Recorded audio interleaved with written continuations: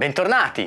Oggi vogliamo vedere insieme la prima maglia del Milan per la stagione 22-23 in versione player, quella indossata dai calciatori.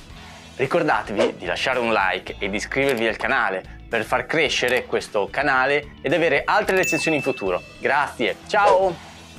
La maglia home del Milan 22-23 è ovviamente a strisce verticali, come da tradizione, ma poste in maniera diversa rispetto a quelle dell'ultima annata. Il colore predominante è il nero anziché il rosso come nella stagione scorsa. Le strisce tornano alla loro classica forma e dimensione omogenea, mentre nell'ultima e fortunata annata avevano consistenze diverse, passando da dimensioni più sottili ad altre maggiormente allargate. Le bande non prendono forma su tutta la maglia, bensì partono dal petto e terminano qualche centimetro prima del fondo della divisa, mentre il nero resta come base evidente. Il dettaglio che fa impazzire i tifosi è il lato della manica tricolore, con il richiamo alla bandiera dell'Italia. Un'idea di Puma, che sarebbe stata adottata a prescindere dalla vittoria dello scudetto.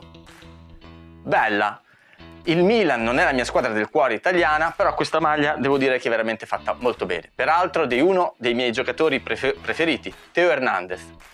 Nella mia personalissima classifica questa prende 4 stelle, fatta veramente bene, con tutte le rifiniture giuste, con questo tessuto veramente bello nella versione player. Qui in alto vedete il costo, molto basso se si considera eh, che comprende le spese di spedizione e peraltro eh, ha una consegna veramente molto veloce. Questa è arrivata in 14 giorni, dall'ordine alla consegna è arrivata in 14 giorni. Vi ricordo che in descrizione trovate tutti i riferimenti per ordinare la maglia, quindi a questo punto sta a voi.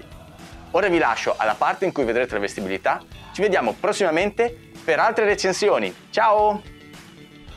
Io sono alto 1,75 m e peso 70 kg circa. Quella che vedete è una taglia large della versione Player